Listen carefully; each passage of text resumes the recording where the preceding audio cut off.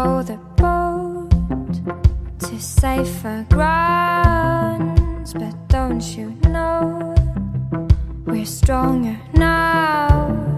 My heart still beats, and my skin still feels, my lungs still breathe, my mind still feels.